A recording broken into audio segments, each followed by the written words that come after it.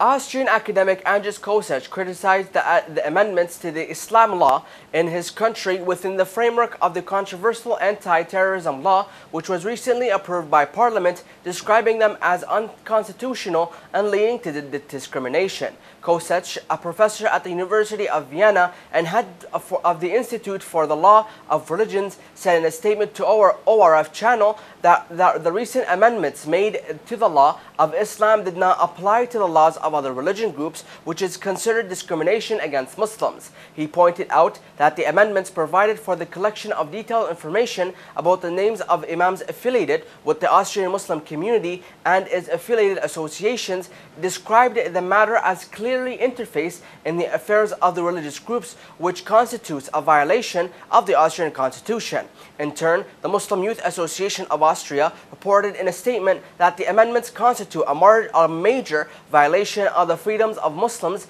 adding that the adoption of amendments to the law of the religious group within the framework of the anti-terrorism law carries different meanings in its folds and was developed without, without reference to Muslims, which is considered a shameful thing in terms of democratic values in the country. On Wednesday, the Austrian parliament approved a draft law to combat terrorism despite criticism leveled at it by some segments of society, especially Muslims. The law is facing criticism from various groups of Austrian society, especially Muslims, because it contains amendments to the Islam law that was approved in 2015.